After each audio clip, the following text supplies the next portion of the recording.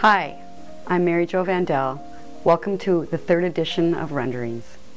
It's been a really beautiful fall and I was fortunate enough to take another trip into the Boundary Waters. This time I went with my son Max and his dog Zipper. We spent six days in the Boundary Water Quetico area wilderness. We canoed and portaged the border lakes up between Quetico and the Boundary Waters.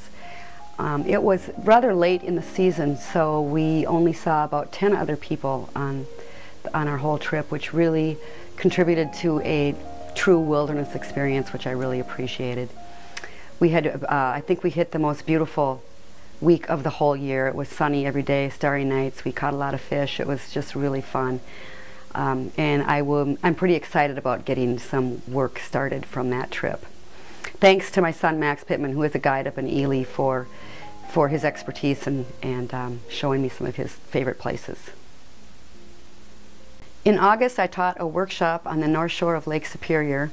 Everyone is always so inspired by this area, and it's so fun for me to take people up there, especially people that haven't been there before. We had a really great time painting in a beautiful lodge for two days. And in the evenings, we would get together and talk about art and other things. It was just, the camaraderie was really high. I think everybody really enjoyed the experience. I know everybody left with a smile on their face and a really lovely piece to take home with them. Earlier this fall, I had a show at Aleschi Gallery in downtown Stillwater. Thank you to everybody who came out to see that show. Scott Zarin, who is the owner of the gallery, has a great eye. He has a lot of unique furniture and art in the store, and I think it's worth the visit to Stillwater just to see his store. The St. Croix, which is a new painting for me, can be seen at Aleschi Gallery along with a lot of my other work. Perch is a new piece that's now hanging at the Waters of Superior Gallery in Canal Park in Duluth, Minnesota. They recently requested to carry more of my work, and so they now have a nice collection of my work amongst all of their other treasures.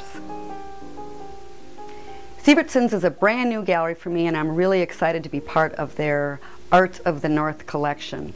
I just delivered them a large body of work and I'm really proud to be included into their gallery in Grand Marais. This coming year I will be teaming with Lutsen Lodge to uh, conduct painting weekend workshops. Lutsen Lodge is one of the nicest lodges on uh, Lake Superior. It's a classic uh, it's 125 years old, classic old style lodge resort. The accommodations are beautiful. They have a swimming pool, they have a dining room that's open for breakfast, lunch, and dinner. There'll be um, plenty of hiking trails and a beautiful rocky shoreline that we can explore after class. There will be plenty of room for painting, spreading out and painting. I'll be teaching in the ballroom the dates for this workshop will be posted soon. You can check for the dates on my website or you can like my fan page on Facebook and Lutsen will also have these, this information on their website. Once these dates are established, you will be able to book these workshops either through myself or through Lutsen Lodge. I'd really like to thank Lights, Lightshed Productions, John Kaul and Emily Haddad for all the work that they've done to make renderings possible. And I'd also like to thank you for taking the time to view this and for your interest in my work. Until next time.